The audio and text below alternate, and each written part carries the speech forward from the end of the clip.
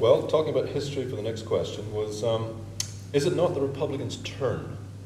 I know that may sound like uh, Right, a right. simplification, but there's an historical precedence here, isn't there? That, that is And I think true, the- yeah. The, the, the questioner recognised that. What do you think? Well, the Democrat, yes, the Democrats have not succeeded themselves. Exactly. I don't, I don't know when the last time was, maybe very, very long time ago. Uh, but, you know, I, records are made to be broken, as they say. And uh, there was never a black pre- president before, so, Yeah. you know, it's always the first time, and Okay. maybe it's a woman's time. uh-huh. All right.